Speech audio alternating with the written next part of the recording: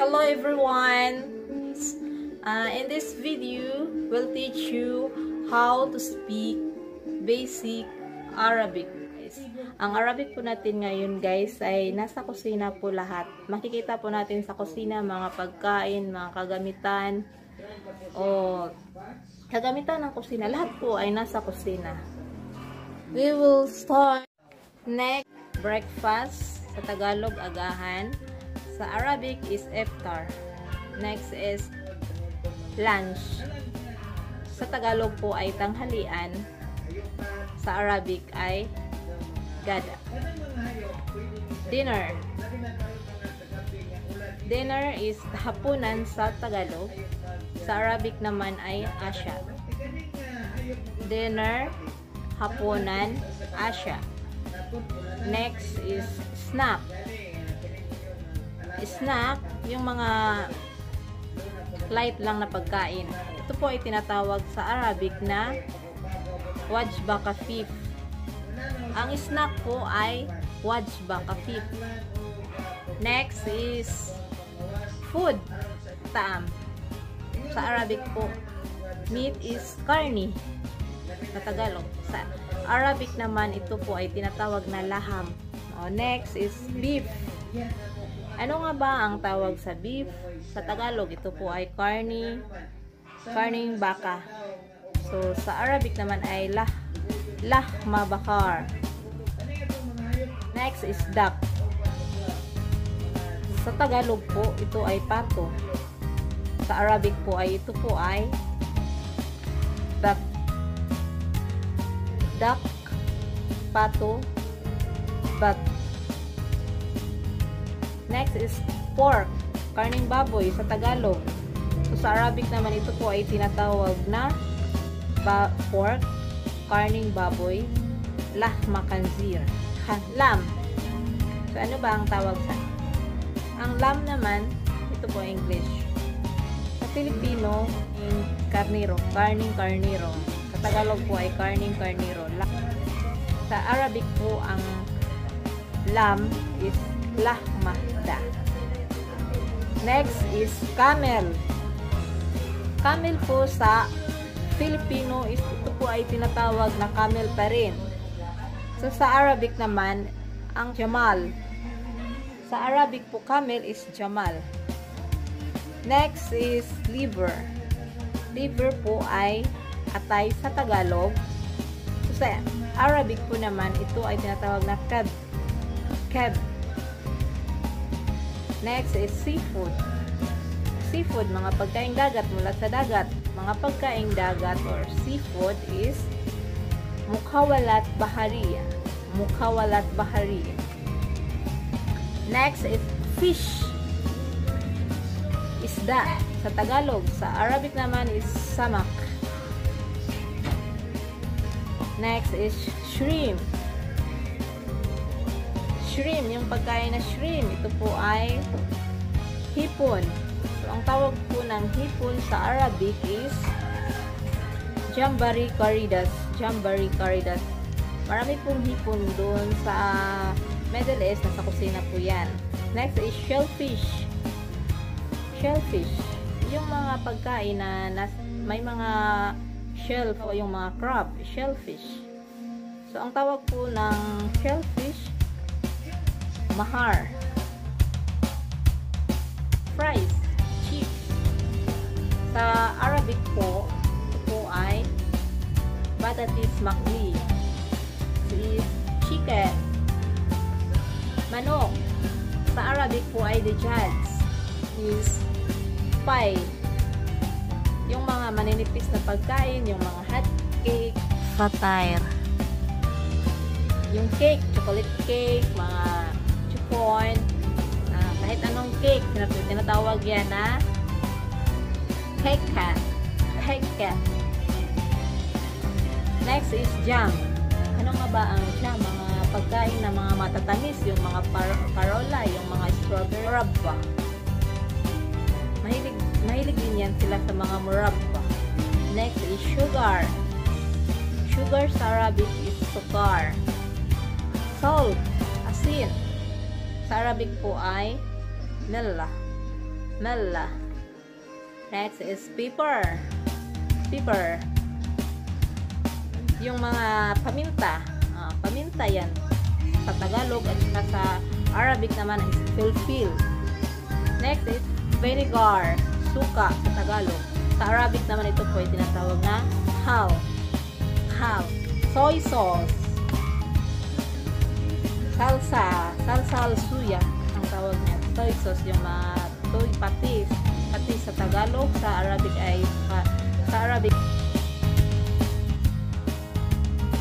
garlic. Sa Filipino is bawang. Sa Arabic is thom. Next is onion. Sa Arabic po is basal. Next, next is tuna. Sa Pilipino is tuna pa rin at saka sa Arabic din tuna pa rin siya. Tuna. Steak. Yung mga karne na hiniwa. Karning hiniwa, sharia lahma. Next is curry. Yung mga pagkain maanghang, yung mga strong, strong spices. Yung, ang tawag niyan sa Arabic is curry. Vegetables, gulay, hadrat.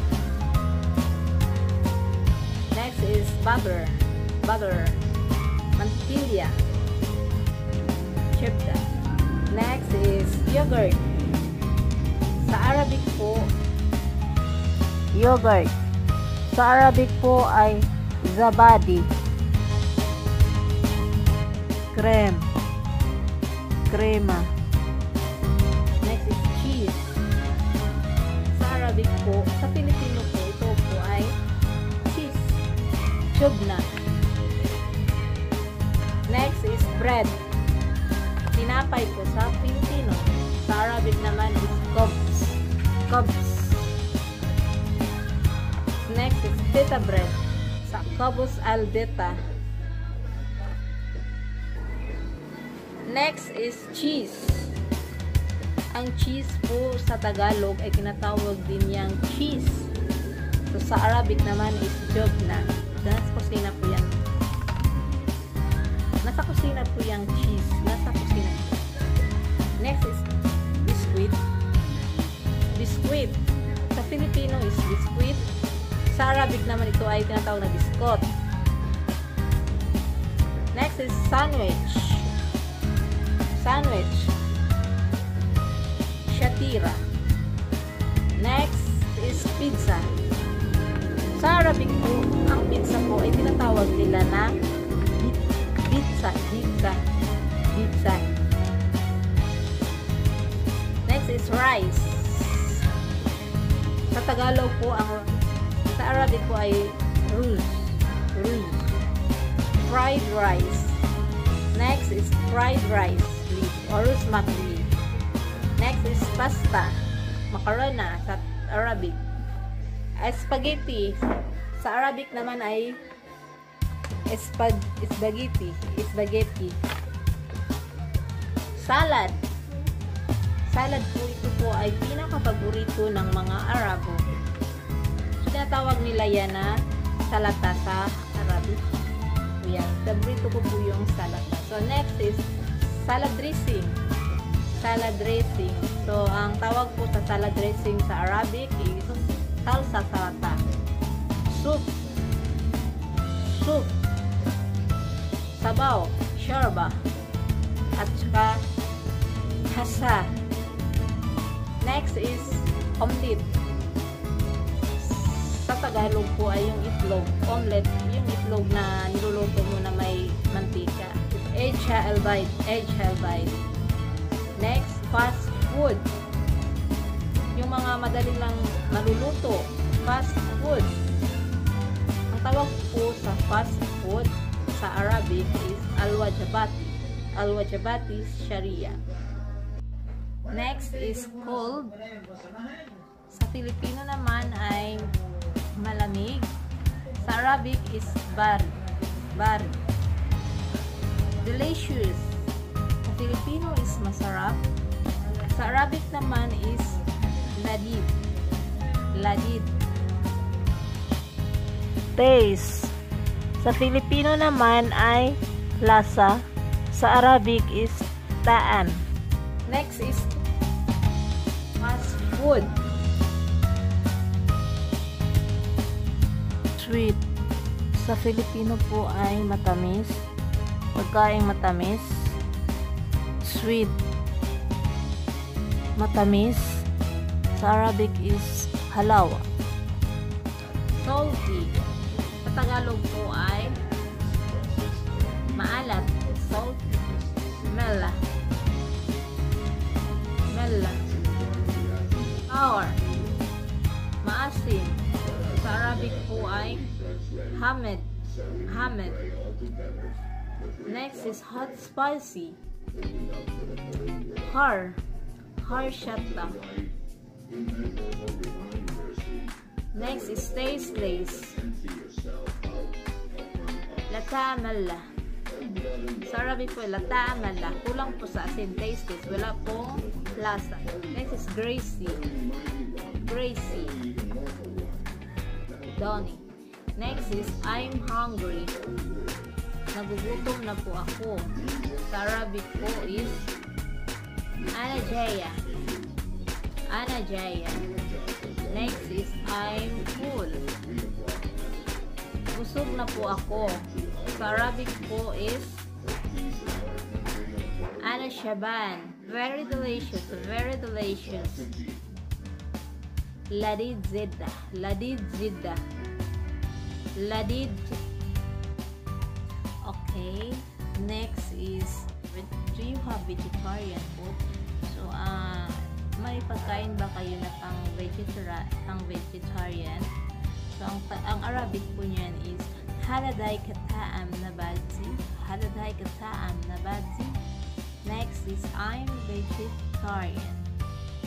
Ako po ay hindi kumakain ng karne sa Tagalog. Arabic po is ana na baitsi. Ana na baitsi. Next, restaurant. Sa Tagalog po is kainan. Sa Arabic po is matam.